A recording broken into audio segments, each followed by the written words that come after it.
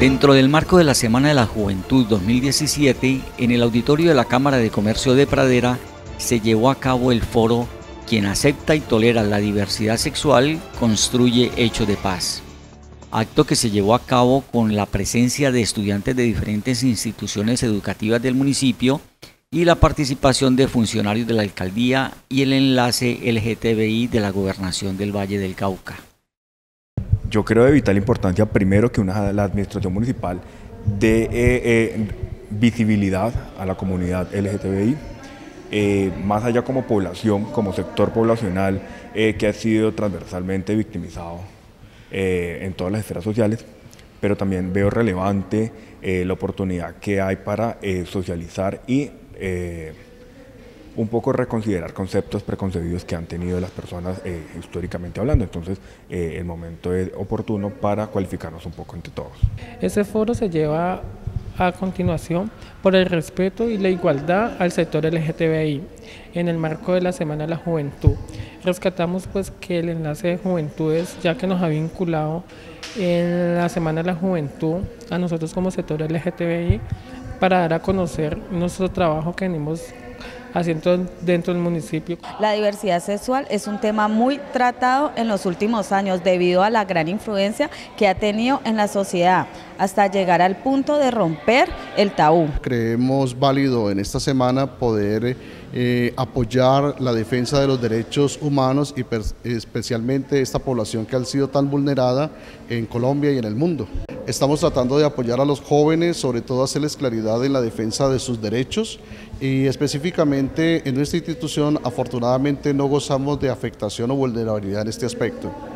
Uno de los objetivos que busca el foro LGTBI es que las personas con diferencias sexuales no tengan temor de expresar públicamente su condición. No tengan miedo. Ser lo que somos no es un delito. Ser lo que somos además... Mm, pues nos permite establecernos en las diferencias y los humanos todos y todas somos diferentes. Así que hay personas eh, como nosotros, los que damos la cara a nuestro proceso y que decimos abiertamente que somos homosexuales, que estamos aquí para escucharles y que estamos aquí eh, para decirles que nosotros tienen algún tipo de apoyo. Entonces, eh, ser gay, ser lesbiana, ser bisexual, estar en algún tránsito o ser intersexuado o sencillamente ser diferente está bien y ese es nuestro tesoro. En Pradera siempre ha sido una comunidad bastante dispersa, es una comunidad eh, en su mayoría invisible. Eh, los logros han sido muchos.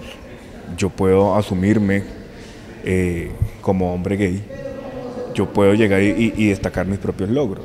Campeón nacional de gimnasia, ahora estar en un cargo con la administración municipal, entre otros pero yo sé que hay hombres y mujeres lesbianas que han tenido unos logros muy significativos, pero que por miedo al rechazo, por miedo a, la segregación del, mismo municipio, no hacen eh, visible su orientación sexual y por ende no podemos destacar estos reconocimientos. Es aquí donde quiero eh, volver a, como a felicitar la, la, intención de la administración municipal de visibilizar estos procesos y felicitar los liderazgos que están en estos momentos eh, haciéndose cargo de los procesos con el municipio y es importante fortalecer en ese sentido a las alcaldías para que ellos sepan de qué manera se debe dar participación a la población LGBTI en los diferentes escenarios, por ejemplo en el caso de paz, a través de los consejos municipales de paz, las mesas de víctimas y ahorita pues con la creación de la red de paz LGBTI departamental. Como Gobernación, agradecer eh, el apoyo tan grande que, hemos notado del señor alcalde frente a la población LGBTI, a los diferentes procesos, eh, aplaudir el esfuerzo de los funcionarios porque se nota el trabajo en equipo, no es como de pronto en algunas eh, entidades donde se delega solamente al enlace, sino que el enlace está rodeado de un equipo de trabajo que vela por la protección de los derechos de las personas LGBTI.